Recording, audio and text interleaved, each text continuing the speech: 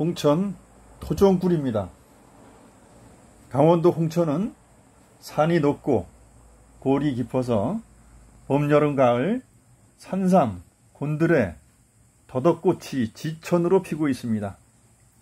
논과 밭이 없는 홍천 청정 산지에서 헛개나무, 피나무, 쌀이나무, 엄나무 끝에서 토장볼이 모아온 꿀을 삼촌 주민들이 함께 포장을 했습니다.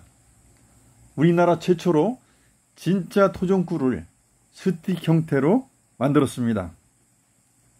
언제 어디서나 간편하게 정량을 먹을 수 있습니다.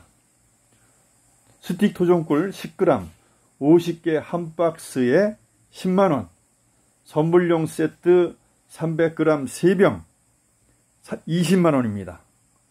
홍천 토종꿀은 정말 좋습니다.